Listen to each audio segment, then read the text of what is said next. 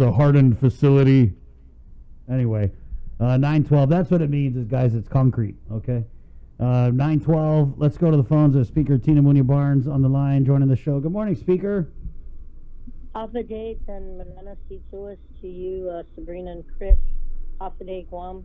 Many of God's blessings uh, for you, all of you guys here today. And if uh, you allow me, I, I just want to share with you that um, I, I want to say I agree with your earlier comments that our frontliners deserve to be uh, compensated for all their hard work and their commitment to our community. And as um, we look at the original projections and that, and we look at our numbers or our cases today, uh, I, I, have to say that our, our front uh, are all working collectively, and they played a, a key role to um, to make things happen. And I just want to say that uh, they deserve to be compensated. Uh, uh, I, I, know you guys know that this past weekend, I, I, did hear from a handful of our frontliners expressing uh, their frustration about the pay situation and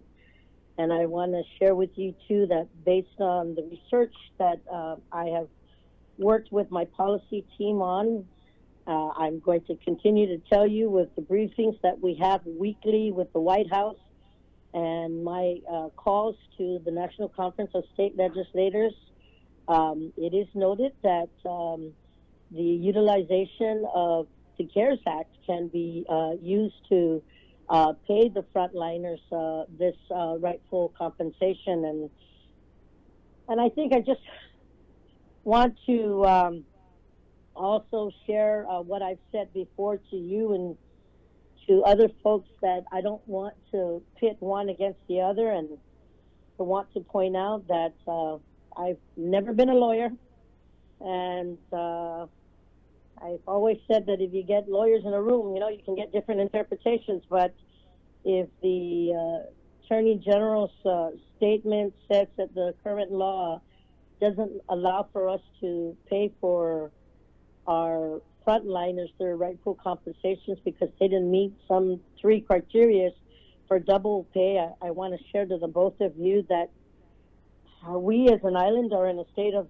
uh, an emergency, and this emergency, and no, nobody's ever planned for this to happen, and, and nobody ever wrote the law anticipating to respond to this kind of situation. And as such, uh, I want to share with the both of you that I did take the time to speak to um, my colleague and his team and and look for a proposal that can address this. And as in everything that I do, sometimes it's working with the community and working with the stakeholders who who can see how uh, ideas and, and solutions can be facilitated too. So I want to share with you that I did have the opportunity to speak to uh, the representative from the uh, uh Guam Federation of Teachers, Mr. Robert Koss. And uh, I want to say thank you to him for coming to the table and willing to work with myself and um, Miss uh, Senator Pito uh, and his office to work on out a solution. And and I must say, uh, Bree and, and, and Chris, that we did do a draft this weekend. And um, this morning, Mr. Koss got back to my office and saying that uh, the union is um, very um, positive and I, I, would say, I guess, at least pleased on, on a proposal that that we worked on. And I want to share with you that in a nutshell, this bill that's in draft form that's in front of me right now um, would uh, literally say that for every hour that an unclassified frontliners worked during PCOR 1, which is between the dates of March 20th when the government of Guam was shut down to Mother's Day, that they will get one hour annually for every hour that they worked. And these employees during the fiscal year can convert up to 100 hours for a lump sum payment, and the remaining 120 hours can be cashed out as normal uh, upon separation. Uh, I also want to share to the both of you that when we that we also took the time to bounce this idea with a few uh, government of Guam employees, and, and they had shared uh, some recommendations that I also uh, include uh, the unclassified uh, employees as well. And as as much as I believe that everyone should get what they deserve, uh, I looked over the veto message uh, for Bill 326, and and I know that um, we cannot uh, simply afford that. And I understand that um, the governor can work on using the funds uh, for the CARES Act for this, but as case law has dictated, even during prior administrations, I want to say it was during the Camacho administration, uh, this branch unfortunately cannot mandate the use of the CARES Act, and, and uh, it's the governor's uh, position to utilize to expend the funds uh, accordingly as as um, she seems uh, necessarily. And I, I really hope that the governor does uh, uh, take time to look at this and, and see what she can do.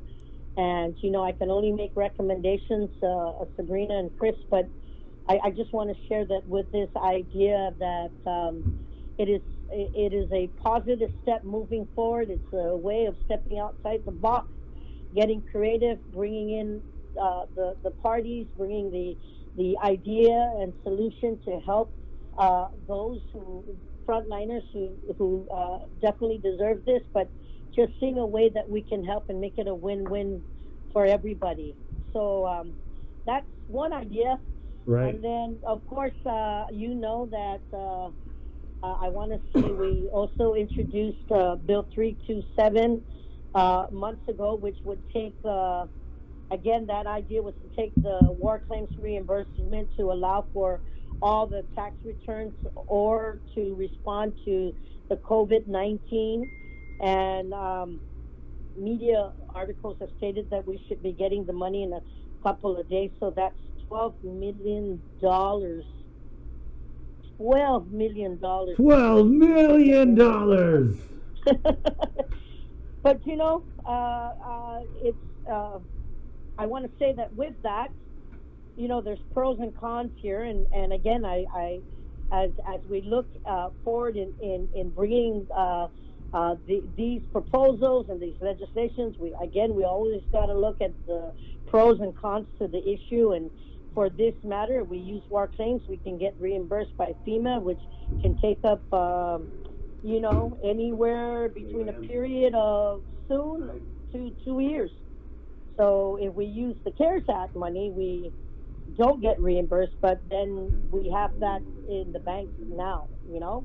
Mhm. So I know it hasn't been an easy decision for uh, Magahaga, but I know uh, essentially it comes down to fiscal policy, and and we can make uh, dollars work if uh, you know, which is really uh, scarce right now, and we need to see how we can stretch as much as we possibly can. But uh, I know that. Um, hopefully uh, our, uh, I can work closely with my colleagues and work out some minor details and introduce by today or the latest tomorrow morning um, these efforts, and I hope uh, everyone can support it. And I, I want to share with you that I will be talking to the rest of my colleagues about this issue and see how we can uh, facilitate this uh, move moving forward. Uh, I, I do know that we have a session at the end of the month. I know that uh, core is up, but you know we need to move faster. Uh, you know, uh, quicker than the opportunity for for holding emergency session is also there. Uh, We we've been really hard at work, uh, uh, um, Bree and and and Chris, and and I, I just want to share with you that our work hasn't stopped here. I I also have. Uh, other bills that I've been working with my colleagues. Uh, Senator Mary Torres and I had been working on uh, modernizing rules and regulations as it relates to the cus- customs and quarantine. I know that um, their their enabling legislation, uh, you know, was written in the 1940s and and it wasn't enacted until the 1970. And we have been working closely with the Customs and Quarantines Office. I want to thank all the officers there and and um, folks from Ike Peredo to uh, Ray Ray Bloss and uh, John Rick uh, Mendiola. And I just want to say that, you know, even working closely uh, with the Coast Guard, Senator Torres had asked me to uh, meet with the Coast Guard back in January and to push these efforts on how things come in and, and how we have to work through our borders. And I just want to say thank you for her invaluable knowledge at her time with the port and then her working closely with me and working closely with customs and, and our policy team so that we can uh, literally bring up to speed the um, the uh, rules and regulations for customs and they've been working on this for a long time and we hope to get uh, an introduction of that uh, today also. Speaker, Uh, can, that can doesn't stop there. sorry, can we go back to the uh, bill that you had in draft form that would uh, give the frontliners and essential workers uh, com- compensatory annual leave? Right, is what you're trying to do. Yes, Right. So. Not, um, not CTO, because CTO you have to use right away. Right, right, annually, Annually. correct. So, um, Yeah, so- Senator, in talking with uh, Robert Koss of the Guam Federation of Teachers, uh, would this bill stop their efforts with the lawsuit moving forward, or are they still doing the lawsuit and this is just a solution that you're working on? Or have we got to that part of the conversation you know, yet? You, you know, uh, uh, Chris, um, I can't answer that right now, but in my sincere efforts of working close to them and calling them in and working with my colleague uh, and and bringing our policy team even over the weekend, I am hoping that that that the community knows that it's sincere effort. I called GFT in because I knew that as they continue to drive this, it's okay. How do we come up with a solution to to to help address these concerns, but more importantly, to see what we have? And and again, in the attempt of of sharing this sincerely, I I, must at least try and and I'm hoping that with the efforts moving forward and and then working with my colleagues and, and sharing this draft with them and seeing how fast we can work with and seeing who's going to engage. You know, the magic number in the legislature is eight, and I'm going to push to whip the eight and and work with my uh, majority whip to see how we can facilitate this bill moving forward. But again. That is, it, it was a solution. It was an idea. Uh, we brought some players in, and I'm hoping that that the administration will engage with us. I'm hoping that my colleagues will engage, and I'm hoping that with the positive response that we heard this morning, you know, I know that that uh, decision came in at five o'clock, and and when my staff called me that that uh, GFT uh, sent over the remarks, I said, "Good, let's let's let's move forward." And and in that effort, uh, uh, Chris, uh, again, uh, this is what we're, we're here to do is to literally try and, and think outside that box, to be creative, to find the solutions, and then to show the community and to show the frontliners that we really do care and that we really are working on this. And I, again, it's going to take a concerted effort. And for me, I, I have to look to getting that magic number of eight on onto the floor. But um, I also want to share with you that even with those efforts and, and looking at trying to protect uh, uh, our community and trying to look at as the governor continues to work with, we are in P PCOR 2 now, but uh, look at, at opening it up and bringing our number one economic driver back to where it should be. I know the timelines look very scary. It, it people say it's going to take two years. It's like, what can we do to help protect Guam and help bring our tourists back? And Senator Pito and I were working on a bill that would require testing at the airport. It's still being vetted uh, uh, uh, right now, and this would hopefully end the need for the hundreds of rooms that our government is paying for daily. Uh, again, we are still working on some details, minor details, uh, to get that bill ready uh, today. And I just want to thank the chairman for public safety for this innovative approach, uh, given that our main industry is uh, tourism, and every day we close, you and I, you folks know that we lose a lot of uh, our invaluable resources, and we got 20,000, 21,000 jobs plus that, that have been gravely affected. And I need our, our, our, our community know, to know that uh, I know that that industry wants to go back to work. They call us consistently. They call our office, and um, but I need to know that we want to do something responsibly. So testing at the air, uh, airport might be one of that. We're still trying to look at the uh, whether the constitutionality or working with the feds if that's going to to have any hiccups. But uh, it's something that we want to work to move forward and making sure that the protocols and the protections in place. So uh, again, working closely with the airport, trying to get their buy-in and seeing what we can do. That was something that we we thought of too, and I just want to share with you, uh, uh, Bree and, and Chris, that that uh, we as policy uh, makers are, are still working in, and uh, we um, uh, will come continue to look for solutions, uh, even if we have to step outside the the, the usual uh, parameters. Right. But uh, we we need to work hard, and I just want to know that uh, I must say that with the briefing and the information that we got last week. Uh, uh, uh, you know, all my colleagues, the majority, if not all of them, were there listening, and and uh, I want to thank the senators, uh, Sabina Perez and Senator Louise Muña, for turning in their questions, their additional questions to the administration. Uh, it was in no way. How many questions did you get, Speaker? I think we got. Uh, let me double check, but I know. Because I know you said that you and uh, Senator Regine had like 66 or something like that. Well, you know what, Chris, that was for the, the, the joint uh, uh, region, the, the, the Guam build-up presentation.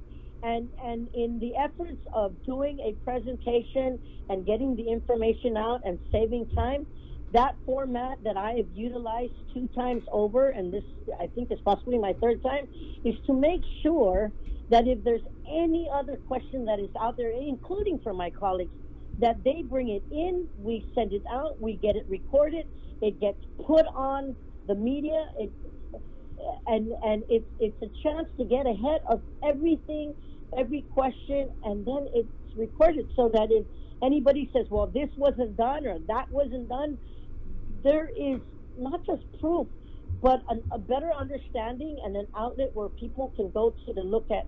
And I must thank uh, the Committee on Rules for making the uh, legislative channel accessible to the community and bringing a lot of the information out. And that is the necessary tool that I've been working with. I also have a kiosk in my office as it relates to the Guam buildup. But for this, the COVID 19, I, I want to share with you that the other idea I have is to extend a program out there that if anybody has any question or concern or cannot or, or feel bad and, and cannot fill out a form, call my office, email my office.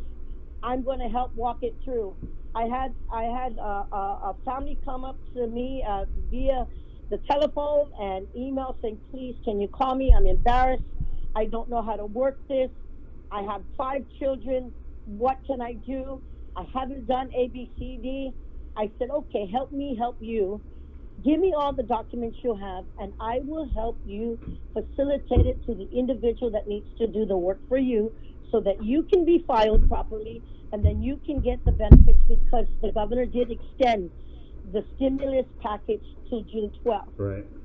That individual was in tears and saying, "Why do you Why do you care?" I said, "You have five children. If if not for you and your significant other, then think of your children." Mm-hmm. I got that information delivered to, today by a relative, dropped at me. I just want to say I'm going to walk it through, just just to see if I can help make that difference. I'm going to do it, and I again extend that information out. If, if there's any questions, I know I'm still getting questions on war claims. Uh, just sometimes, uh, Bree and, and, and Chris, just somebody just needs to step up to the plate and say that, okay, if if if, if you're not understanding and, and you feel more comfortable, then I will open my door. Well, Speaker, Well, thank you. we're so glad that you uh, shared your time. And remember, we'll do this weekly update uh, every week. And just Yes. call in, let us know what you're working on, and it's uh, definitely a lot. So I appreciate you reaching out, Speaker. Thank you. Uh, have a good day. God bless you and God bless Guam. Wash your hands, Kay. Okay. sure Tell will. Shirag wash his hands. God bless you too. All right, okay. take care. Bye.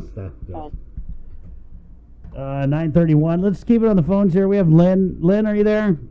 Yes, sir. All right, so you had a question about uh, Revan tax. Go for Yes. it. What do you need to know?